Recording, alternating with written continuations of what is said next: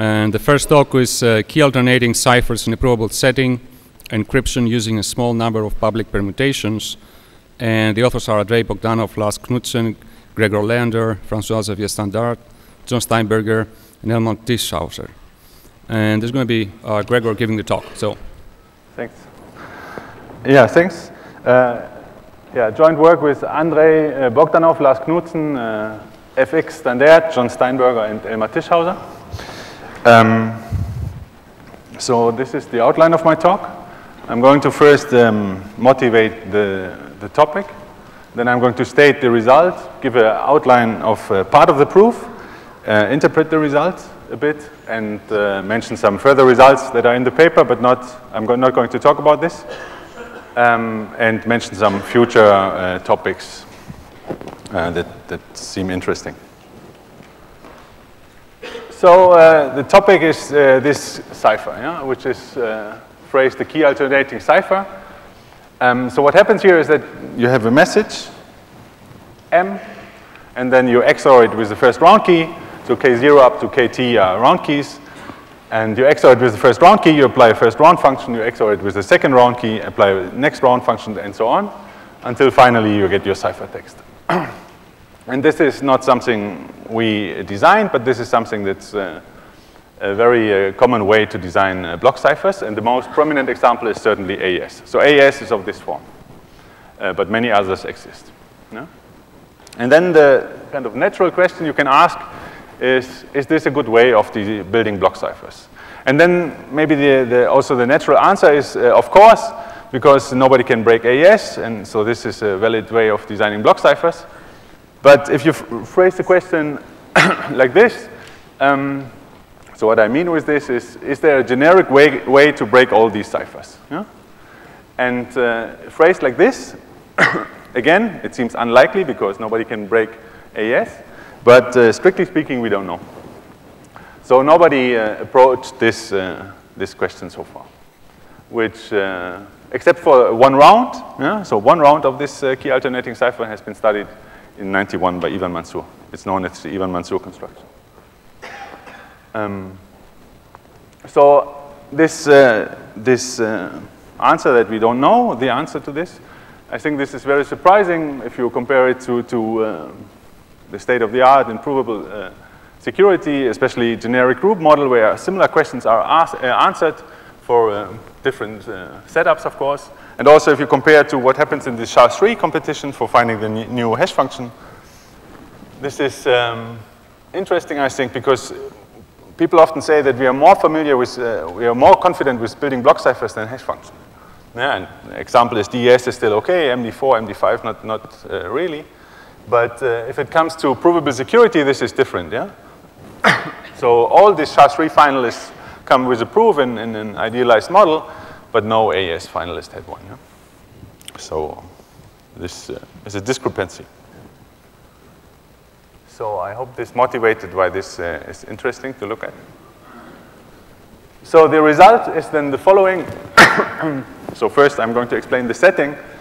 Um, so we are going to model the, the round functions as ideal uh, permutations that the adversary has to query to evaluate. Yeah? And then we are going to count how often an adversary has to query um, these, uh, these round functions and the cipher itself uh, to have a good uh, probability of success. So we are going to have two worlds, world one, where the adversary has uh, access to, to the round function and also their inverses, and he can ask, uh, query, he can ask queries to evaluate those, those round functions and also the encryption oracle. So he has an encryption and decryption oracle. and in the second world, what happens is that we replace the the cipher by another random permutation. Yeah? And then the adversary has to tell apart uh, which world he is in. Yeah? That's the setup. And uh, the result that, that we are able to prove is that uh, if there's only one round, so only one P1, uh, then you need, an adversary needs uh, roughly 2 to the n over 2 queries to tell away, uh, to, to be able to tell apart the two worlds. If there's uh, more than one round, then he needs 2 to the 2n over 3 uh, queries to, to have a good success probability. And the reason result, which is not in the proceedings version, but it's, it's going to uh, be in an upcoming full version, is that if you have more than two rounds, then it's 2 to the 3n over 4. And it kind of already gives a pattern what you could hope in general, yeah? how this should uh, increase with the number of rounds. But so far, we don't have a bound that increases with the number of rounds. okay, a proof outline to uh, say something about uh, what, we, what we have been doing. So the initial game is, um, is easy. Huh? So we, we sample the, the uh, permutations P1 up to PT uh, at random. We select random round keys. And then we construct this, uh, uh, this encryption and decryption oracle. And then the adversary has to tell, tell apart which world he's in. Um, the next thing is modifying this by lazy sampling. Yeah? So instead of sampling all the permutations and the keys at the beginning, we start with empty lists. Yeah? So we start with empty lists for all these round functions and also for, for the uh, encryption, decryption oracle.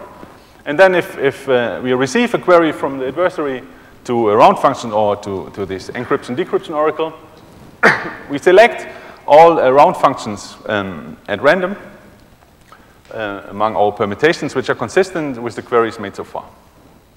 And then we construct the, the decryption and encryption oracle, again, consistent with the queries made so far, and then we answer the query. We update the list, and okay. And this clearly gives the same distribution. So this is only a syntactic, syntactical change. Yeah, so it does not change the distribution of the two games. So now I'm going to, uh, to um, to tell you the, the, the hybrid. Yeah? So a, a, a, slightly modified game that we use uh, to be able to bound the success probabilities. Yeah? So we changed the game a bit. And this a bit is actually uh, the most uh, technical and involved part. And I'm not going to explain this uh, in detail. So what we do, again, it's lazy sampling, but this time, if we receive a query to PI or E, what we do is we kind of focus only locally. Yeah? So we, we, we, if we receive a query, we select a random answer y, and the only thing we check is that pi should be a permutation. Yeah? And then in the next step, we are going to check for consistency, and I'm going to say what consistency means in, in a second. And if it's consistent, whatever this means, we output the y and update the list. And if it's not consistent, then we crash, yeah? we give up. And clearly, this is something the adversary will be able to tell. So what is this consistency? Consistency simply says that uh, this, this uh, the encryption oracle, decryption oracle fits to the picture of the key alternating cipher. That's what it says. Yeah? Um, so it fulfills this equation. And uh, in the picture, the hybrid works like this. So for simplicity, I took n equals 2, so I have only 4, n is the, the block size. So I have only four possible inputs and zero keys. And so what, I, what is shown here is this is the uh, encryption, uh, the cipher, and these are the two round functions. And um, so because the, the, cipher is just a composition of, of, P1 and P2, these things should be the same. Yeah? So now if I start with a list of queries, the adversary first asks for P1 of 0. I'm going to uh, pick a random answer. I'm going to answer this with 1. So this is uh, updated the list. Nothing uh, happened so far. I'm going, now the adversary asks for P2 uh, of 2, and I'm going to again pick a random answer, say this uh, is mapped to 0. And uh, then he asks for, okay, what is the encryption of 0? And again, I pick a random answer, so far no problem. But now the adversary asks for P2 of 1. I pick a random answer, I pick 3, and now this crashes. Yeah? So this is uh, where this crashes because it's not consistent anymore. Yeah? Because this line is uh, ends up at, at uh, 3, while this line ends up at 2. So these are not the same functions anymore. Yeah? And this is uh, where consistency fails. Yeah? So these mappings are not the same anymore, clearly. okay. Um, so now we have two things to do. We have to show that um, you cannot win, win in this modified game without making too many queries. And we, show, we have to show that the modified game is only slightly different to what we started with. And uh, so the first step is uh, rather easy, and I'm going to give you a sketch of the proof in the next slides, while the second part is not so easy. So this is quite involved. And it's technical and uh, it's uh, in the paper. And this is also the part which uh, has to be improved if you want to get better bounds. Okay, so I'm going to say only a few things about this step two. Yeah? So why is it, in, I'm not going to explain how different this, uh, this modified game is, but I'm go just going to, to show you that it's actually different. Yeah? Because um, this might not be uh, uh, so obvious. so again, a small example with uh, zero keys and now only three possible inputs. So uh, what happens if I, assume this, these uh, queries have been made so far, and so far there's no problem with consistency, in, nothing. Yeah? But now if uh, the adversary makes a query um, to zero, so he wants to know what is uh, the encryption of zero. So then in the modified game, um, it's easy to see that none of these uh, answers would uh, destroy consistency.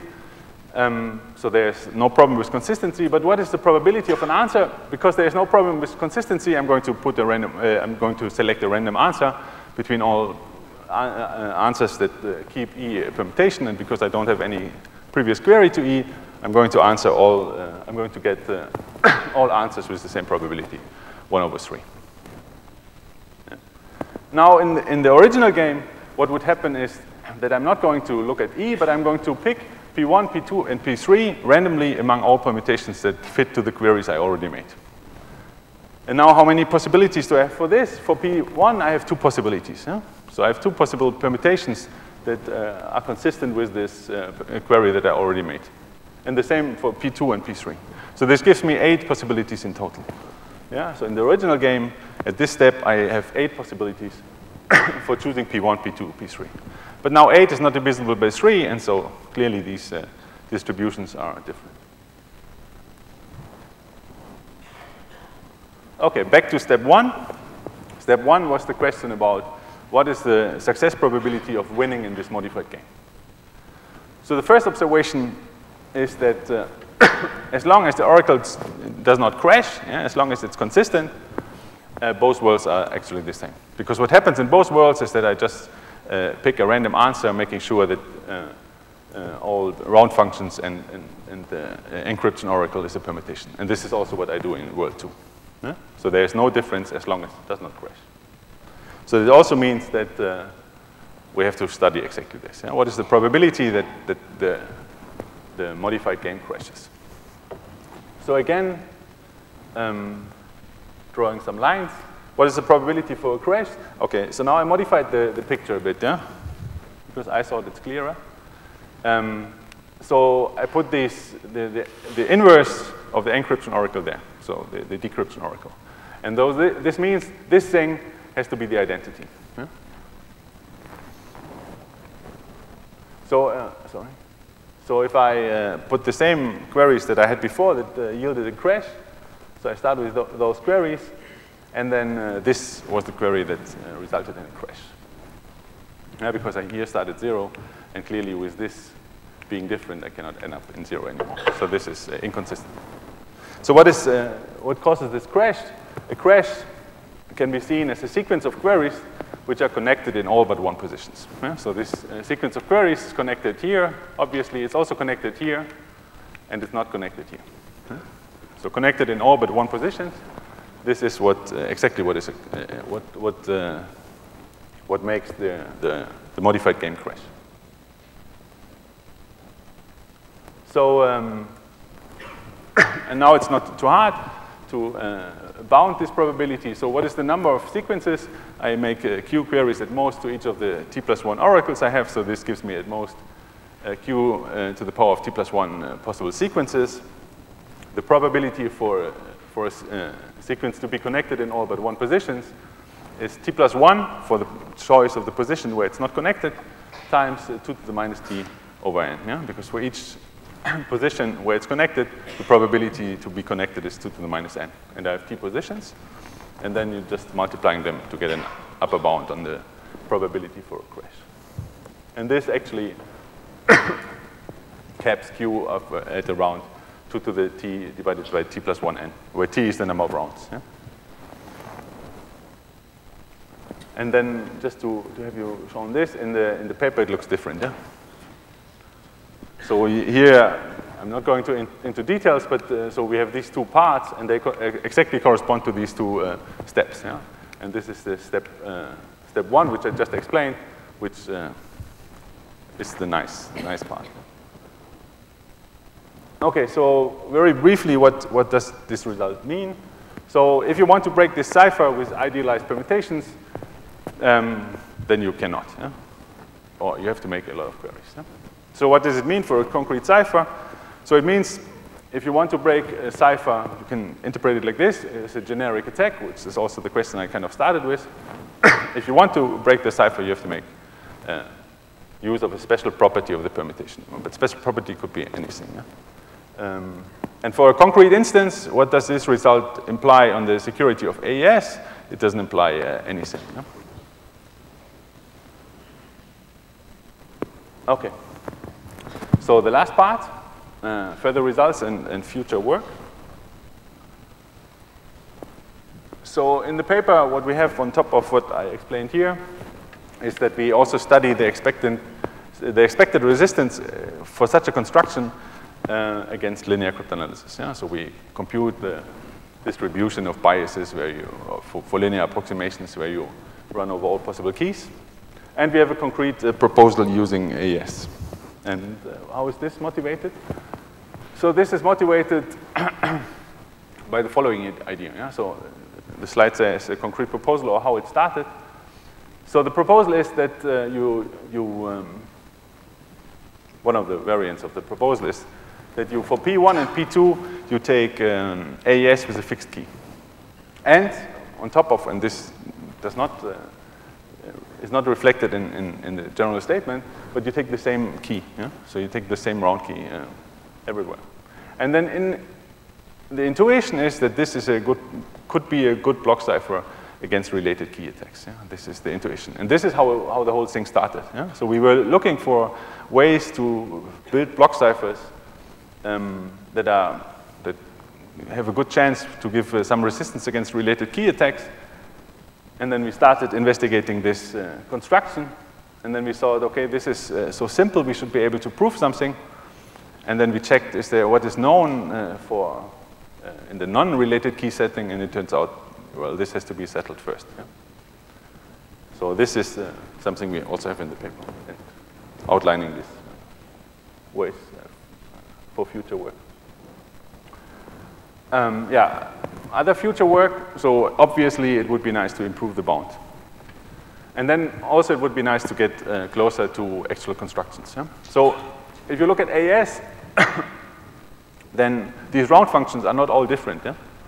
It's always the same, same round function that's applied. Yeah? It's an iterated uh, cipher, which makes very much sense for implementation reasons. So it would be nice to uh, not assume that all these uh, round functions are different, but the same. And um, a similar question, could, could you prove a similar, similar result when all the keys are actually the same? And then, as a last point, I'd like to mention that um, from a provable uh, perspective, yeah, in this setting, this uh, key alternating cipher does not seem uh, very nice. Yeah? It seems very difficult to, to get good bounds. And one could also try to come up with new ways to design block ciphers where having this provable uh, aspect in, in, in mind and see if you can find something nice out there. So uh, a bit more on uh, how to improve the bound. we conjecture that the lower bound is actually the one that I derived in, in this step one. And as I said, we already have improved this to uh, 2 to the 3 over 4n for more than three rounds, more than two rounds. And the first challenging step would be to get a bound that improves with the number of rounds. And that's all I had to say. Thanks.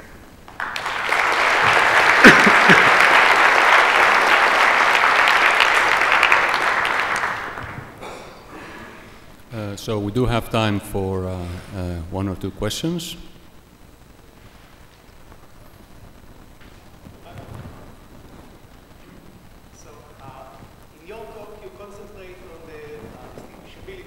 Yes. Uh, what happens if you are interested in finding the actual key? Do you consider the difficulty uh, as you increase the number of keys? So um, we have, I mean, you, with, this, uh, with this bound, you can find the key. That's, that's all we, we know. yeah. Otherwise, we did not consider this. No, no, the bound is not tight. yeah. I mean, this is something you could uh, maybe also hope. Yeah? Either you improve the bound, or by looking at this uh, involved proof, there might be some kind of new ways of attacking these things. Yeah?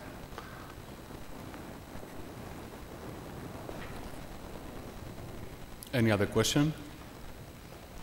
Um, let me actually ask something. So, uh, so this uh, construction that uh, when you instantiate your construction using uh, AES, Yes? uh, are you able to say anything concrete about its security properties? About the, for example, like how would the uh, your construction instantiated uh, over AES would behave against uh, some attacks like linear analysis or No, you, you cannot say anything concrete about that? No. Okay. no, no. You have to look at AES. Yeah? No, I mean conditional, let's say, on some property of AES. Could you say something about? No, no. As I said, this for AES, this basically doesn't mean anything. Okay. All right. Any other question? Okay, so let's thank uh, uh, Gregor again.